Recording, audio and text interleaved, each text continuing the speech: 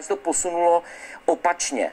A i přesto obrat o 180 stupňů, to je výraz pana ministra a Petr Fiala se najednou z euroskeptika stal euro, řekněme, eurooptimista.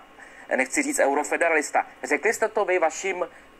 To je z toho roku 2014 projev Fialy, kde nenechal na Evropské unii nic suchou při kongresu ODS. Já jsem vám to tady nabízel několikrát, to video. Eh, vašim voličům, jak vy... ne, ne, je to tak, je to tak.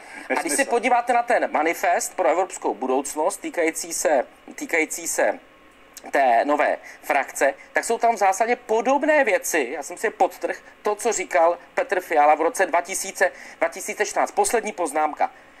To, že jsme s někým ve frakci, ve frakci, neznamená, že souhlasíme se vším, co on dělá v té domácí politice. To jsou přesně vaše slova. Vy jste dokonce jako spolu byli na jedné kandidátce v momentě, kdy na některé zásadní věci máte naprosto odlišné názory. Jestli někdo se posledních pět lišil v hlasování v Evropském parlamentu, tak to byl Liděk Niedermayer a Saša Vondra. Naprosto. Pane, trošku utíkáte od tématu. Ne, Já jenom, pane ministře, to poslední, je, pane ministře. Je... Vidíte, chce ho hnedka umlčet, pochopitelně. Je to všechno pravda atentát na rozpočtovou transparentnost, tak bývalá ministrině financí Alena Šilerová nazvala přípravu státního rozpočtu na příští rok.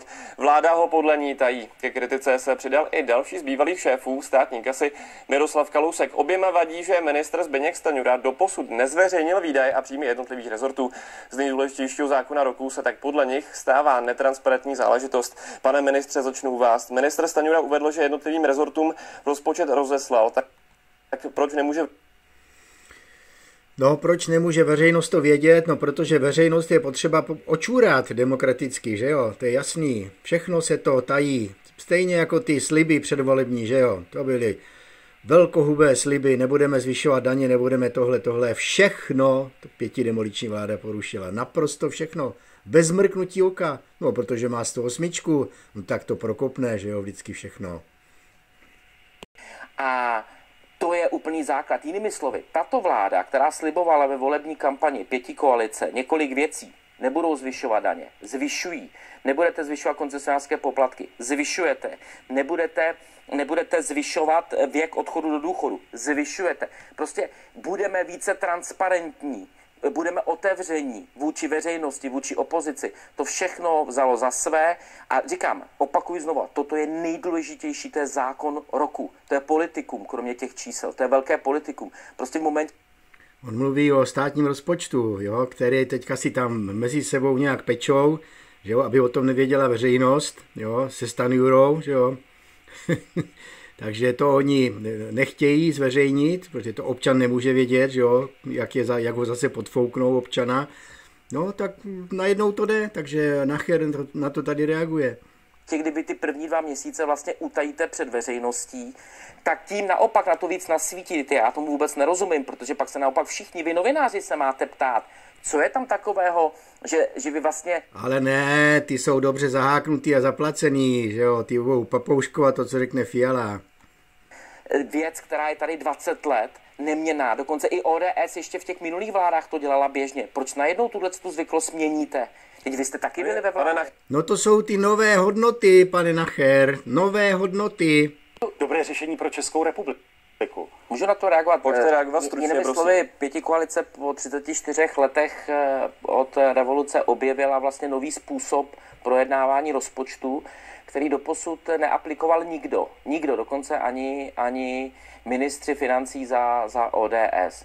Eh, za mě to má úplně opačný efekt. Eh, já souhlasím s panem ministrem, že nemá to být perské tržiště, ale tím vlastně on um, nálepkuje své vlastní kolegy, protože to, jestli to bude perské tržiště nebo ne, přece záleží na těch ministrech, s čím půjdou za ministrem financí. Tak, tak Jinými tomu, slovy, tomu konkrétně, na mě, pardon, na, na mě to vyvolá, počkejte, ve mně to vyvolá spíše dojem, že nevím, jestli pan minister nebo pan minister financí nevěří svým kolegům ve vládě, Eh, nechce s nimi veřejně, transparentně debatovat, bojí se možných hádek v rámci koalice ve vládě a proto jde na to touhletou formou. No a teď se dostávám k té lži, víte, to bude důkaz přímý. Tady mě se trošku rozhodil internet, tak jsem musel toto video rozdělit na dvě části a tohle mě právě zaujalo. jak se tady zase maže med okolo huby, takzvaně pětí koalici, jak to tady všechno zmákla, jak nám ekonomika roste, jo? tak se na to podíváme. Víme, že v tuto chvíli už česká ekonomika mírně roste. Eh, je to možné sledovat na celé řadě ukazatelů, na růstu reálné mzdy, na zvyšování spotřeby domácností. Eh, ty zprávy jsou pozitivní a uvidíme, jakým způsobem se to bude hmm. už promítat do toho výsledku. Ale o cenách se nezmínil, že rostou taktéž, že jo? takže to asi bude trošku horší výhledu na příští rok, což je důležitý vstup eh, do debaty o tom rozpočtu. Tak zase...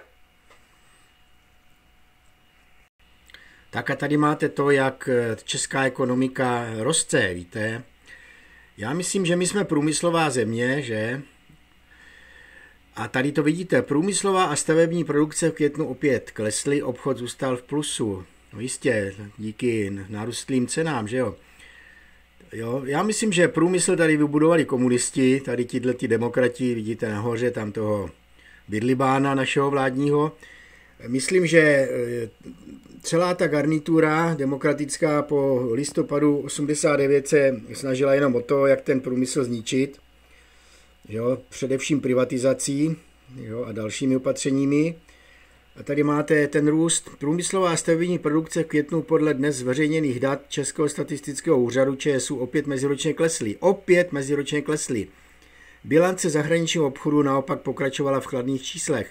Jak průmyslová, tak stavební produkce své meziroční poklesy rovněž rychlily a to na 3,2% a 6,8%. Oproti tomu přebytek zahraničního obchodu v květnu činil 13,6 miliardy korun což bylo o 4,4 miliardy korun více než loni. No, vzhledem tedy k těm sumám, které tady lítají třeba v tom rozpočtu, tak to teda nic moc, ani zahraniční obchod. Český průmysl podle analytiků oslovených ČTK v květnu meziročně klesl nejvýrazněji od září loňského roku. Úroveň stavební produkce byla nejnižší od února roku 2021. Podívejte se, jeden like, jo, jeden like za jak dlouho, kdy pak vůbec vyšel tenhle ten článek? Jeden den, za den, jeden like, to je docela to, kdo si občané nebo čtenáři opravdu štrejchli. Vidíte, tady máte ten vývoj. Jo. Stavební výroba, pozemní stavitelství minus 7,1, inženýrské stavitelství minus 6,3, no tak opravdu nám to teda roste. V meziměsíčním srovnání český průmysl klesl o 2,2%, hodnota nových zakázek pak oproti loňskému květnu zrostla o 80%, no to je skutečně úspěch. Hlavním důvodem poklesu průmyslové produkce podle úřadu byla nižší výroba motorových vozidel. Mhm. No jo, no tak to je teda malér. Šance na rychlé zotavení tuzemského průmyslu jsou podle analytiků mizivé, Očekávaný mírný letošní růst se chystají revidovat směrem k nule. Vidíte, tak to je tak kupkovo prohlášení, jak nám roste ekonomika, jak jsme za, už vlastně zatím za tou krizí, jak to teď všechno roste. Obtížné časy v průmyslu pokračují. Meziroční statistika byla sice v květnu mírně zkreslena zvýšenou srovnávací základnou z loňského roku, ovšem to představuje jen velmi slabou útěchu, řekl ČTK analytik Cirusu Vít Hradil. Podmínky ve výrobě naznačují podle indexu PMI přetrvávající útlum, který je mimo jiné důsledkem váznoucích zakázek ze zahraničí, upozornil analytik Unicredit Bank Patrik Rožumberský. Tak tady vidíte, kam to vede Fialová vláda, vidíte.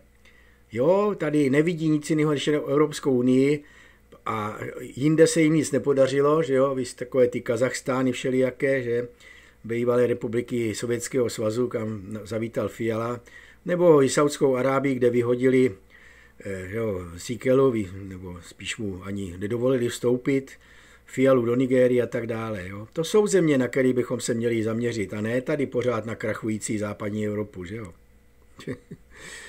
no, tak to je vše. Tak tady aspoň vidíte, jak to vypadá, co tady kvákají v televizi, že jo, a jaká je realita.